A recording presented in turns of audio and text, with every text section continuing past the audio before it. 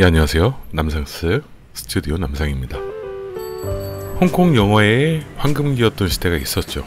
천장지구, 영웅본색, 천녀유원. 와, 그 당시 홍콩 영화는 너무나도 기똥찬 영화가 많았습니다. 지금 그리고 있는 천밀밀은 1996년도 영화인데요. 아마 모르시는 분들도 계실 겁니다. 줄거리를 대충 말하면 한마디로 로맨스, 불륜 영화입니다. 그래서 약간 완전하게 순수한 로맨스의 영화는 아니죠. 순수한 로맨스 영화면 더 좋았을 수도 있지만 어찌 보면 인간의 감정을 잘 묘사하고 있는 영화이기도 합니다. 진가신이 감독을 맡았고 장만옥과 여명이 주연을 맡았죠. 정말 이쁘고 잘생긴 배우들이죠.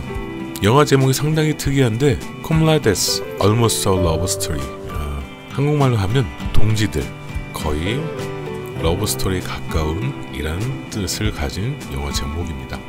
16회 홍콩 영화상에서 작품상, 감독상, 여우주연상, 남우조연상, 각본상을 비롯한 9개 부문을 휩쓸었다고 합니다. 예전에 봤을 때는 단순한 러브스토리인 줄 알았는데 세월이 지나고 나서 보니까 당시 홍콩이 급진적으로 발전하는 모습 아, 당시 홍콩은 영국령이었고 1991년 중국으로 반환되기로 한 홍콩 천면밀은 이 교체기의 혼란스러운 홍콩을 보여주고 있죠. 중국 본토와의 갈등 문제, 미묘한 감정을 잘 표현한 영화인 듯합니다. 처음 시작 부분에 이 주 주인공은 기차의 앞뒤 좌석에 앉아있다 홍콩에 도착을 합니다. 이렇게 둘의 사랑이 시작되리라고는 전혀 몰랐죠. 그들의 유일한 공통점은 중국 본토 출신이라는 것과 대만 최고의 가수 등려군을 좋아한다는 것과 자신의 꿈을 위해 홍콩에 왔다는 것 뿐입니다.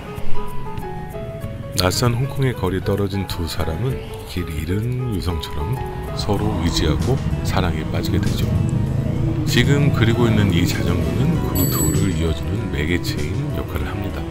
비싼 차는 아니지만 두 사람이 타지 생활 중에 고향에서나 사용했던 자전거를 함께 타면서 아무도 모르는 도시의 고립감에서 서로 의지하게 된 거죠.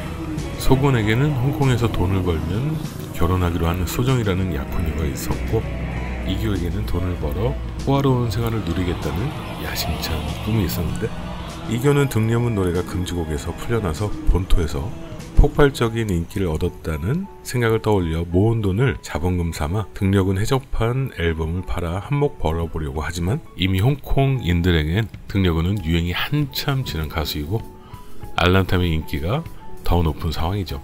야, 그 당시 알런탐의 인기도 상당했죠. 그리고 등려군을 듣는 건 본토 출신 촌사람이라는 편견 때문에 본토 출신들마저 몸을 사리느라 그들의 앨범을 사주지 않게 되죠. 결정적으로 이교는 이때 생긴 손실을 만회하려 애써 모아둔 돈을 주식에 넣었는데 그것마저 폭망하게 됩니다. 결국 이교는 악착같이 모은 3만 달러를 다 날리고 수중에 100불 정도 남은 상황이 되고 빚을 져 결국 안마 실소소에서 일하게 됩니다. 소군은 이런 이교에게 힘이 되어주고 싶지만 이교는 너무나 순진하고 순박한 소군의 마음이 부담스럽기만 하죠.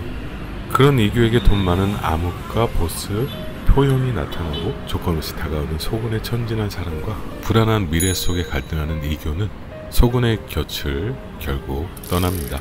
소군 역시 그녀에 대한 마음을 접기로 하고 안녕이라는 메시지를 남기죠. 소군은 그의 약혼자와 결혼을 하지만 결국 이혼을 하고 미국으로 건너가 차이니즈 레스토랑에서 일을 하게 됩니다. 결국 이교는 표영이라는 건달과 결혼을 하고 미국에서 살지만 그녀의 남편은 미국에서 살해를 당하고 결국 혼자가 되죠. 그 후 중국인을 상대로 관광 가이드를 하게 됩니다. 우연히 길을 걷다가 가게에서 틀어놓은 TV를 통해 등려군의 사망 소식을 접하게 되죠. 그리고 그 옆에 서서 같이 TV를 보는 소군. 등려군의 음악이 흘러나오는 그 자리에서 두 사람은 운명적으로 재회하게 됩니다. 물론 영화니까 가능하겠죠. 둘은 마주 보며 환하게 웃습니다. 참 끝장면도 영이 많이 남습니다. 이 영화에서는 우리나라에서 유명한 천밀밀이라는 노래도 나오는데 원래는 인도네시아 민요라고 합니다. 영화 속 남자 주인공 소곤이 홍콩에 와서 친척 아주머님 집에서 신세를 지게 되는데 그녀는 과거에 밤일을 하다 현재는 포주 노릇을 하고 있는 여성입니다. 영화 모정을 촬영하기 위해 홍콩에 로케이션 차 온 윌리엄 홀든과의 단 한 번의 로맨틱한 데이트를 죽을 때까지 마음에 품고 살죠. 소군의 고모는 홀든을 떠올리며 내 평생 가장 즐거웠던 날은 윌리엄이 나를 데리고 페닌슐라 호텔을 갔을 때란다. 난 그가 신경 쓰지 않는 틈을 타서 사용했던 나이프와 포크 그릇을 몰래 훔쳐왔었지. 지금 한 번씩 꺼내보니 여전히 이렇게 기쁘구나. 윌리엄은 일찌감치 나를 잊었겠지. 하지만 상관없어. 나만 기억하면 되지. 게다가 난 지금 이렇게 늙고 취해졌는데 나를 찾아오지 않는 게 다행이야. 라는 애절한 대사를 하죠. 하지만 안타까운 것은 이 영화의 배경이 1986년인데 홀더는 이미 1981년에 사고사한 것이죠. 이러한 사실을 모른 채 소곤의 고모는 죽을 때까지 페네슐라 호텔에서의 하룻밤을 지내고 몰래 훔쳐온 홀든이 사용했던 포크와 나이프를 간직하며 그를 생각하다 죽음을 맞습니다. 어찌 보면 슬프고 순수한 사랑이라고 볼 수 있죠.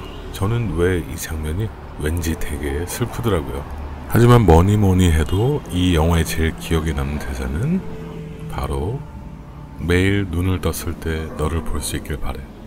오늘은 당신 생일이지만 내 생일도 돼. 왜냐하면 당신이 오늘 안 태어났으면 나는 태어날 이유가 없잖아. 야, 정말 멋진 로맨스 하고 싶지 않으세요?